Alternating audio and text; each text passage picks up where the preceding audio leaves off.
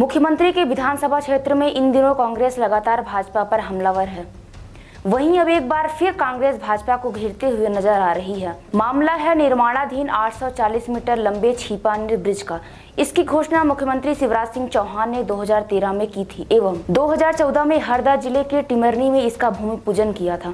दरअसल bridge corporation विभाग के तहत 36 करोड़ की लागत से हरदा एवं सीहोर को जोड़ने वाले छिपानीर ब्रिज के अभी तक चालू नहीं करने को लेकर कांग्रेस ने मुख्यमंत्री एवं निर्माण एजेंसी पर निशाना साधा है। साथ ही जल्द आम जनता के लिए नहीं खोलने पर कांग्रेस ने स्वयं शुभारंभ करने तक की चेतावनी भी दे डाली है, जिससे हड़कंप मच गया है। आपको बता दें कि इसका निर्माण का कार्य विनोद कुमार शुक्ला कंस्ट्रक्शन कंपनी का है जो बीते वर्ष जून में ही 90 परसेंट कार्य पूर्ण बता रहे थे लेकिन एक वर्ष बीत जाने के बाद भी अभी कार्य पूर्ण नहीं होने को लेकर अभी आम जनता को 20 किलोमीटर का अतिरिक्त फेयर लेकर आना पड़ रहा है।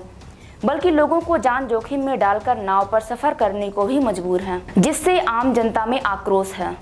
चालू नहीं किया गया इस विषय पर क्या कहेंगे देखिए सरकार की उदासीनता है राजनीतिक संरक्षण है कोई भी निर्माण कार्य सरकार जब करती है तो वो आम जनता के हितों को ध्यान में रखकर किया जाता है।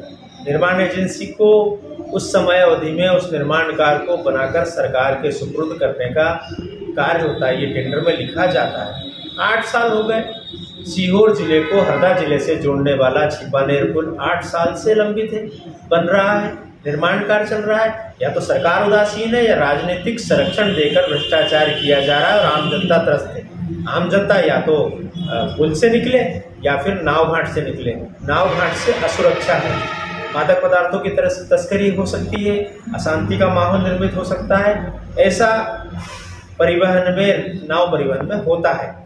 लेकिन मैं सवाल खड़े करता हूँ, मध्य प्रदेश के मुख्यमंत्री शिवराज सिंह चौहान जी से।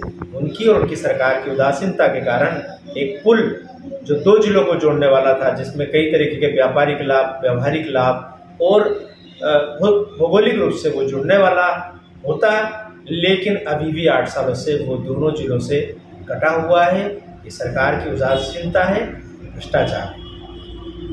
अगर जैसे इसका शुभारंभ नहीं किया तो कांग्रेस का क्या स्टैंड रहेगा? देखिए सरकार लोकतांत्रिक व्यवस्था में सरकार जब उदासीन हो जाती है सरकार गहरी नींद में सो जाती है तो विपक्ष का दायित्व बनता है। विपक्ष अपने कर्तव्यों का निर्वहन करते हुए जिस तरीके से माननीय सज्जन सिंह वर्मा जी ने पुल बनने के बाद आम जनता की पीड़ा, परेशानियों को देखते हुए सज्जन सेतु, पांडा गाँव के पुल का आम जनता के हित में इनोग्रेशन किया, उद्घाटन किया।